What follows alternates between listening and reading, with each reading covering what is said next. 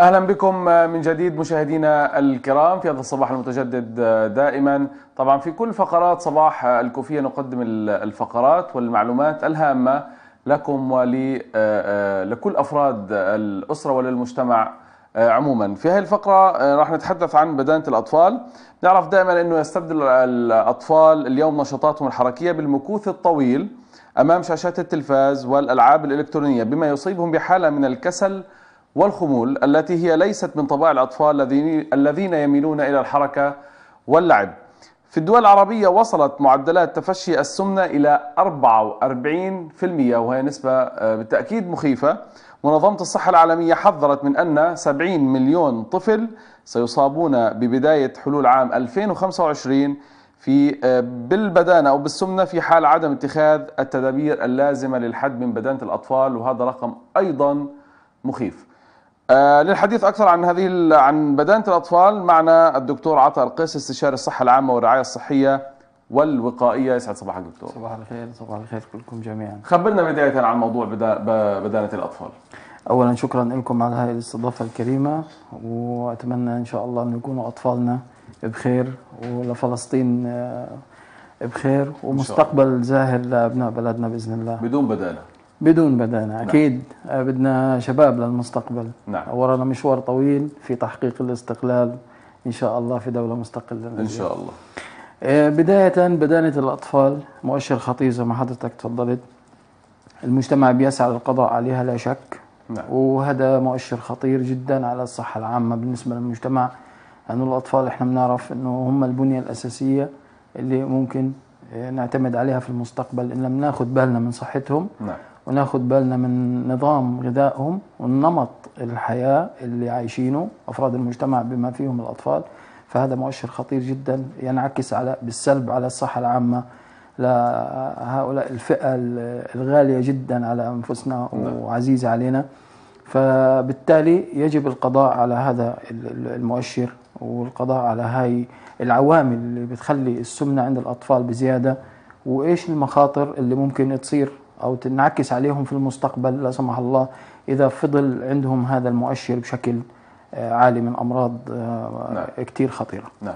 أسباب البدانة أو السمنة هي بسبب التغذية أو شو شو الأسباب الرئيسية للبدانه؟ السمنة. عند الأطفال خلينا نقسمها لقسمين. نعم. قبل ما, نعم. نقسمها فضل. قسمين البدانة والسمنة نفس ال نفس نعم. البدانة والسمنة هي نعم. مصطلح واحد لكن بنفرقوا عن زيادة الوزن أه. في فرق ما بين إنه يكون الطفل وزنه زايد زيادة عن الحد الحد نعم. الطبيعي المتعارف عليه وفي فرق ما بين إنه يكون سمنة أو عنده بدانة زي ما هذا بنحكي أوصل. نعم الطفل يعتبر عنده سمنة إذا كان 95% من وزنه أكثر من أقرانه في نفس السن ونفس الجنس. نعم هذا نسميه هذا سمنة. سمنة. أكثر من 95% نعم. من 85% ل 94% ما هو مؤشر كتلة الجسم للأطفال البي إم آي خاص فيهم. نعم. مش زي البالغين. نعم. فيحسب يحتسب بالنقاط برسنت فمن 85% ل 94% يعتبر في زيادة الوزن أو المعدل الطبيعي النمو العادي نعم. بنية الطفل كلياتنا بنعرف إنه من سن الولادة لغاية ما يدخل المدرسة من المدرسة لغاية سن المراهقه لغاية ما يوصل سن 18 سنة اللي هو قانون الطفل في الأمم المتحدة يعتبر 17 سنة و364 يوم هذا لسه طفل يعني نعم. عيد ميلاده 18 يدخل في مرحلة الشباب نعم. فإذا قسمنا الأطفال لقسمين من سن صفر لخمسة أو صفر لستة نعم. بمرحلة دخول المدرسة وما قبلها ومرحلة المدرسة لغاية البلوغ والمراهقة دول بنعتبرهم مجموعة تانية نعم. فالأسباب لا تتعدى عندنا في مجتمعنا الفلسطيني نمط الحياة نمط الحياة اللي عايشينه إحنا في مجتمعنا بشكل أو آخر لا أريد أن أقول في جريمة هنا بتصير في إجرام مش جريمة إجرام الصراحة خاطئ نمط حياة خاطئ نعم. غير طبعا الأسباب الفسيولوجية منها أسباب وراثة وأسباب الهرمونات نعم لكن الأكثر الأسباب البدانة والسمنة التغذية أو نمط. الحياة نمط, نمط الحياة والسلوك الغذائي الخاطئ. نعم. طب برأيك نسبة السمنة في في فلسطين قديش تقريبا؟ والله لا يوجد يعني لدي أرقام آه، أرقام دقيقة. العربية 44% 44% المؤشر آه، في فلسطين أكيد عالي. أكيد عالي. ليش؟ لأنه نمط حياتنا وضعنا الاقتصادي وضعنا السياسي وضعنا الاجتماعي فكل هذا له تأثير. نعم. البنية الأساسية للثقافة الصحية في المجتمع الفلسطيني يوجد بها خلل. نعم. وأنا أريد أنبه على هذه النقطة. الثقافة الصحية يوجد فيها خلل. ف وهذا الناتج اللي بنشوفه من أمراض ومن انعكاسات صحية سلبية على المجتمع بما فيها فئة الأطفال اللي حضرتكم مركزين عليها اليوم. نعم. فالنمط الغذائي والسلوك الغذائي يبدأ من البيت. مهم. يبدأ في كيف أنا بدي أنشئ هذا الطفل متعود على نمط صحي نعم. وسليم.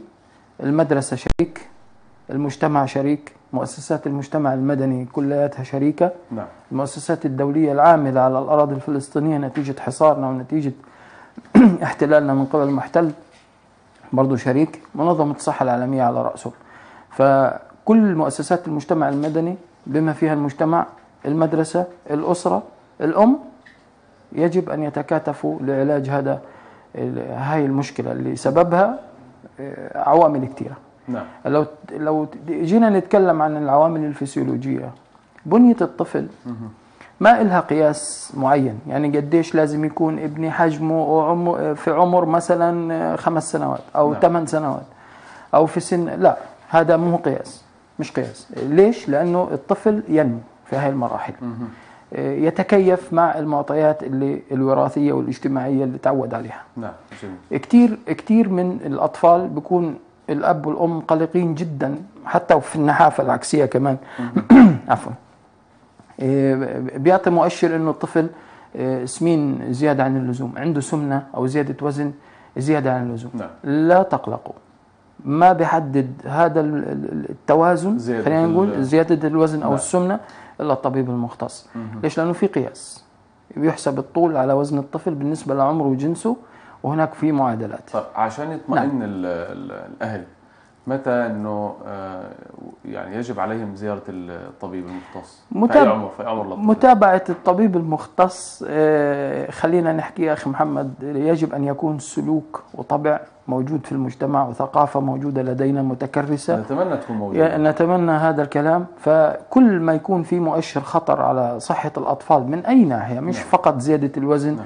آه، لكن زيادة الوزن تحديدا المفروض في أي آه، سن أو في أي مرحلة عمرية؟ ما إحنا ما إحنا أنا وضحت لك إنه في في مراحل مراحل بتبدأ من المدرسة. آه، بتبدأ الأم تلاحظ على طفلها في سن أربع سنوات ست سنوات ثمان سنوات زيادة في الحجم نعم. زيادة في الميزان. آه، هي مش خبيرة في الحاجات هذه إنها إنها تحدد إنه طفلها مريض أو لا أو عنده سمنة أو لا. نعم. لا تخافي. الشغلة اللي اللي بيحددها زي ما حكينا إذا 95% من وزنه خارج عن النظام الصحي المتعارف عليه. لكن هذا هذا لا يعني إني أنا أتبع مع الطبيب المختص آه، سلسلة النمو أو آلية النمو للأطفال؟ لأنه النمو في هذه المراحل بيختلف هرمونيا واجتماعيا وجسد وجسديا. حتى إنه الطفل يعني فجأة بتلاقيه نفرها طول زي ما بنقول صحيح. أو إنه كان بيمارس من من الفئة من اللي بتمارس أنواع من الرياضة أو النشاطات البدنية في في الإجازات في الصيف نعم. أو في المدرسة أو في عندهم نمط. حياه حياة جميل في البيت. هذا لا يعني إنه عنده سمنة. نعم. ال- ال- ال- الكلبوزة هاي اللي إحنا بنشوفها على أطفالنا أو اللي بن- بنفتخر إنه طفلنا بياكل طفلنا مليان آه صحة. صحيح وإن ما أكلش بيبقى في مشكلة غلط صحيح. فهذا هو الخطر أها أها. هذه من أحد العوامل الخطيرة اللي بتأثر بالسلب طبعا غير مقصودة نعم نتيجة آه، بديش أقول أنا جهل الأمهات لا معاذ نعم. الله إنهم يكونوا جهلة لكن الشغلة إنه آه، يجب أن يعني آه، الدراية أكثر نعم. وخبرة أكثر في كيفية تغذية الأم لأطفالها نعم. وكيفية اختيار الغذاء من قبل الأب لأنه هو الطفل معتمد على السكريات معتمد على الحاجات. وهذا كمان بيعتمد- دكتور نعم. دكتور يعني بال- بالمقابل كمان ال- الأهل لازم ينتبهوا لهاي النقطة إنه بيعتبروا إنه الوجبات ال- الأساسية هي لا تكفي للطفل. أي نعم لا- تكفي في بيكون بين الوجبات الرئيسية هاي وجبات آه، صغيرة. لكن في بعض الأهالي يبالغوا بهذا الجانب. صحيح. شو رأيك؟ آه، مبالغة سيئة. صحيح. آه، نظام المكافأة بالغذاء. بحكي لك إنه يعني أي حاجة راح تفيد الطفل صحيح. سواء أنا طعميته آه، حلويات فيها فيها شيء سكريات، معين مفيد نعم. راح تفيده. آه، فواكه زيادة عن اللزوم راح تفيده. لا شك. الخوف نعم. موجودة عند بعض ال- الأهالي. كيف ممكن إحنا نعدل هذه الثقافة الموجودة عند الأهل إنه لازم يكون في وزن مثالي موجود عند صحيح. أبنائكم وبالتالي صحيح. نحافظ عليهم بالوجبات الرئيسية حتى ما يكون في بدن وبالتالي تؤدي إلى أمراض لا سمح الله مستقبلا. صحيح. نعم. الطفل بياخذ ال- الكبار الموجودين في العيلة قدوة. نعم. شيء أكيد. الأب والأم قدوة تحضير الغذاء من قبل الأم هذا شيء مهم جدا. تراعي الأم إذا كان بدها طفلها ينمو نمط غذائي صحي مش بس للأطفال لكل العائلة كل نعم. أفراد العائلة. استبدال المواد الدسمة والغنية بالسكريات والدهون بمواد خفيفة الدسم في إعداد وتحضير الأطعمة حتى يستطيع الكل مش بس الطفل في العيلة يتبع نظام صحي سليم وهي هي نفس الجائزة. طيب لو رجعنا ل... لورا شوية موضوع ال... الرضاعة. هل الرضاعة مؤشر؟ نعم. الرضاعة الطبيعية لست بدنا ناخذ بعين شهور الاعتبار إنه في بعض الأمهات ما بتستطيع آه، ترضع آه، طفلها رضاعة طبيعية لا يوجد أم لا تستطيع أن ترضع طفلها رضاعة طبيعية بحسب لا بحسب يوجد. ال- ال- البنية لا الجسمية يوجد. أحيانا لا. بتكون لا. الإمكانيات غير صالحة أنا لا يعني أنا أنا كأخصائي في الموضوع هذا في الصحة العامة أشجع الرضاعة الطبيعية من صفر لاثنين لاثنين سنة أها. لا يوجد أم لا تستطيع الرضاعة الشغلة هنا تقول الأم لنفسها بدي أرضع رضاعة بتصير طبيعي. بس في بعض الأطفال يمتنعوا. لا ولا في طفل أيضا يمتنع واذا بدنا نحكي عن الرضاعه الطبيعيه موضوعها طويل لأنه هنا في مغناطيسية جاذبية ما بين الطفل وأمه في أها. موضوع الرضاعة الطبيعية. أها. يتعلق فيها الجانب ال- ال- السيكولوجي النفسي نعم. والجانب ال- الهرموني بالنسبة للأم والطفل. ما في طفل بيرفض الرضاعة إلا لأسباب طبعا خلينا نأخذ كل قاعدة شواذ. الأسباب الفسيولوجية المعينة كأمراض مثلا في الثدي. أي نعم هذه هذه.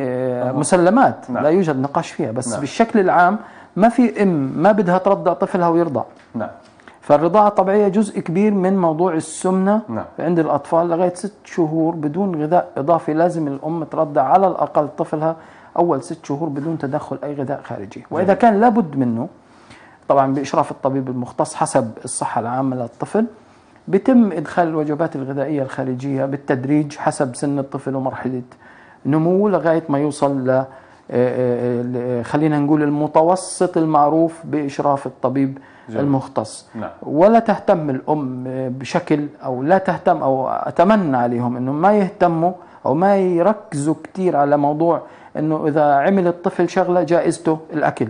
مم. إذا عمل الطفل آه، مثلا واجباته أو حاجة شيكل أو اثنين ينزل يشتري من من السوبر ماركت أو نعم. الدكان. أغلبنا بيعمل هيك. بالضبط. وهذا خاطئ. ليش؟ okay جميل إذا كنت أنت معود طفلك ماذا يشتري. جميل إذا كنت أنت معود طفلك على ال- ال- الغذاء الصحي. خذوا معك على السوبر ماركت. عودوا. في اطباع لو جينا للوقاية الطرق الوقائية المعروفة إنه أحد هاي الطرق ومكافحه هاي الطرق أنت كأب إدخال المواد الغذائية الخفيفة اللي ما سكرياتها عالية ما دهونها عالية للأم حتى إنها تستطيع طهي الطعام في البيت للجميع. أيضا بالنسبة للمكافآت اللي زي هيك إذا حابب أنت مدلع طفلك شوية أو هذا شيء محبب طبعا مجتمعيا نعم. آه، لازم يا مش بالشدة والعقاب. أنا أرفض هذا الأسلوب. آه، ماشي كافئه. لكن آه، اختار الأصناف المناسبة الصحية وهنا لابد من إشراف من مؤسسات المجتمع المدني من مصنعين الأغذية ومن المؤسسات الحكومية في في ال- ال- المنظومة هاي إنه لا تسمح ببيع أو بتوفر ما يضر صحة الأطفال في الفئة المعينة انه الطفل ما بيستطيع إنه يميز. بنزل على السوبر ماركت الشيكل أو النص شيكل الحاجة المعروفة رخيصة وأي طفل بيأخذها سكريات نشويات آه، غنية بالدهون ما بيعنيه التاجر. نعم. لكن في كمان نعم. موضوع مكافأة الطفل بأي حاجة من السوبر ماركت آه، في عادة سيئة عند بعض الأهل وأحيانا أنا برتكبها اللي هي إنه بنحاول نسكت الطفل أكبر مدة مطلوبة والاكثر شيء بيسكتهم بهاي المده المطلوبه الحاجات. الشيبس الشيبس. الشيبس تحديدا. لأنه بده وقت لما الطفل ياكله وال... والسناكس الموجودة فيه والامور نعم. المو... يعني الحبات الموجودة فيه عددها كبير. نعم. فبالتالي بتسكت الطفل لمرحلة- وقت كتير. بياخد وقت طويل أنا على وشك ان أنا أحكي الكلام هذا إنه مثلا المصنعات الغذائية من ألوان من أطعمة من تركيز من مواد حافظة. هذه خطر على صحة الأطفال. بما فيها الشيبس والبطاطا حتى ال- ال- ال- ال- المقرمشات هاي والسك- والسكاكر المصاصات الحلويات اللي ملهاش خلينا أقول فيش حاجة ملهاش فائده غذائية لكن الفائده الغذائية السلبية والسلبيات الغذائية أعلى من صحيح. إيجابياتها نعم. فيجب مراقبة هذا الموضوع. يعني لما تاخذ طفلك انت هذا صح هذا غلط هذا آه هذا صح ممكن هذا لا. هذا يعني مرة في الأسبوع ممكن حتى لو اجينا بدنا نعطيه بطاطا شيبس نعملها في البيت. نعملها في البيت صحية أكثر ما فيها ألوان ما فيها أطعمة ما فيها مواد حافظة بتضر صحة الطفل في المستقبل. وهذا نمط غذائي جيد أو نمط آه، حياتي خلينا نقول جيد ممكن نعود أفراد الأسرة عليه بالتدريج. بيستطيع الطفل يميز لو اديناه الشيكل بينزل وانت مطمئن على السوبر ماركت بيشتري الحاجة اللي هو بده إياها أو المكافأة تبعته اللي هو بده إياها أو التلهية اللي بده إياها مع إنها لها آثار سلبية كثير زي ما تفضلت بدنا نلهي باكبر عدد من الساعات. آه بس انه بس ابعد عني. آه بس ابعد عني وسيبني أرتاح أو سيبني أتفرج. ما هو هذا برضه سلبي. ليش؟ صحيح. لأنه زيادة الجلوس على التلفزيون أو على الكمبيوتر وعلى الألعاب ألعاب ال games اليوم كله سايبر كله أونلاين. صار نعم. كله صار نعم كله صار. حتى جميع. الطفل الصغير كبيرنا كان وإحنا أطفال بنتذكر يعني الطبة ولا ماريو وكان ما ما في اليوم اليوم من سن سنتين وثلاثة بيوعى على الجوال نعم. للكمبيوتر بيمسك الآيباد. إحنا بيقعد كانت العابنا حركية زمان أكثر بالضبط وهذه هذه النقطة هذا شيء كثير. هذا نعم آه. هذه النقطة الإيجابية اللي كانت في الجيل ال- الأول. إيه، فهذا الخمول أنا عمل بدي أحكيها. الخمول هذا بيأثر على صحة الطفل. نعم. إن كان لابد منه ماشي. بيتفرج الطفل على كمبيوتر أو على لعبة أو على حاجة ساعتين ثلاثة بس. خلاص برنامج. إيه، يلي انه إنه ال- ال- المجتمع أو الأسرة يجب أن توفر الأب والأم نشاط رياضي للأطفال، هيجي يقول لك طفل بده يلعب رياضة؟ أي نعم. يمشي. ليش ما يمشيش؟ 30 دقيقة في اليوم. نعم. الحد الاقصى ال- ال- الأقصى خلينا أو الأقل أقل شيء من ثلث ساعة لنص ساعة. مش بالضرورة يعني كل أطفالنا بيشاركوا في المخيمات الصيفية بيشاركوا في الرياضة الفوتبول ال- ال- العاب ال- الجري والنشاطات. بالضبط. هي يعني. هذه هي هذه المطلوبة. إن لم يكن يعني متوفر اقتصاديا لدى الأسرة انه أحيانا هاي الشغلات بدها اشتراكات وبدها مساهمات صحيح، صحيح. فمش الكل بيقدر حسب على الوضع. الاقتصادي حسب الوضع. الاقتصادي للعائلة طيب الآن الطفل أصيب بالبدانة والسم أو السمنة نعم شو الخطوات الصحيحة من قبل الأهل لحتى آه، يصلوا بابنهم إلى بر الأمان تمام إذا كان مؤكد أنه الطفل هذا عنده سمنة بالإشراف الطبي وأقر الطبيب أنه داخل في مرحلة آه، سمنة. وخلينا نقول هنا مؤشر خطر على صحة الطفل في المستقبل. نعم. أنه لو ذكرنا الأمراض اللي ممكن يتعرض لها الطفل وهذا إنذار الإنذار للعائلة أنه تاخذ بالها ضغط الدم زيادة الكوليسترول أمراض السرطانات لا سمح الله إيه، شغلات كتير الاضطراب الهرموني والاضطراب الإنزيمي والهضمي. كمان. فبيأثر كل هذا على صحة الطفل في المستقبل نعم. مما يعرضه لأخطار. الآن العائلة ماذا يجب أن تفعل؟ زي ما حكينا الأم والأب يجب ترشيد وتقنين استهلاك السكريات والمواد الغذائية الغنية بالدهون من قبل الأفراد الأكثر وعيا في العائلة الأب والأم وهم المسؤولين الأول. آه، تقنين الغذاء لا يشمل أي- مش فقط إنه أنا أختار من السوبر ماركت إيش بهمني لا أيضا طريقة طهي الطعام في البيت. تحضير الأم للط... يعني مثلا على سبيل المثال للحصر مثلا طبق المهلبية أو الرز وحليب. بدل ما هو ينعمل من حليب كامل الدسم ينعمل من حليب خفيف الدسم. بالتالي أنا قللت السعرات وهو نفسه نفس الحجم نفس الطعم نفس اللون نفس المنظر والشكل والطفل بحب الحاجات هاي. صحيح. بدل ما أنا أعمل الوجبة الغذائية فيها الزيوت والدهون وأقلل أكثر يعني قد ما أقدر كأم أو كأب نعم. من استهلاك هاي المواد. ترشيد أيضا آه، استهلاك المواد السكرية والغنية بالدهون من قبل الأطفال خارج البيت. يعني في المدرسة أيضا يجب مراقبته.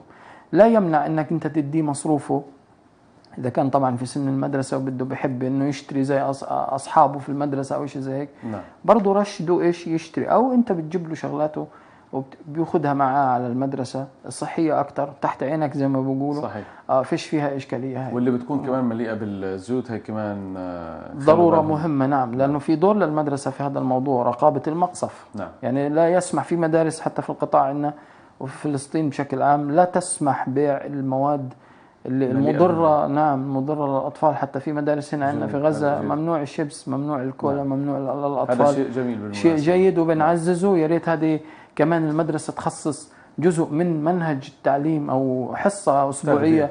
بالضبط الإرشادات حو... خلينا نقول تغيير نمط الحياة أو سلوك الحياة للأطفال نعم. غير النظافة الجسدية وفرشاية الأسنان وأيضا إضافة للتغذية. حتى بمشاركة الأهل والأباء حتى يكون هذا ثقافة عامة. نعم. آه، نهج يكبر عليه الأطفال وبالتالي ما عندنا مشكلة فيها. نتمنى إن شاء الله السلامة يا رب. للجميع. السلامة للأطفال إن شاء الله. إن شاء الله. شكرا لك دكتور عطا القيس استشاري الصحة العامة والرعاية الصحية الوقائية على هذه المعلومات. ونتمنى إن شاء الله يكون يعني آه، شكراً. لكم. الجمهور الكريم والمشاهدين يعني ياخذوا بالهم من هذا الموضوع لأنه مش كل طفل آه، يعني زي ما بنحكوا وافي. وافي زي ما بيحكوا. وافي هيك ومليان شوية مش أها. كل واحد عنده سمنة. نعم. لا في في مراحل. وهاي كمان مش علامة من علامات الصحة إنه يكون آه، بالضبط، سمين بالضبط. زي ما بنحكي بالبلدي سمين أو آه، عليه علامات البدانة. هذه مش معناه إنه هو آه، صحته جميلة. هاي ممكن تؤدي إلى أمراض فنخلي بالنا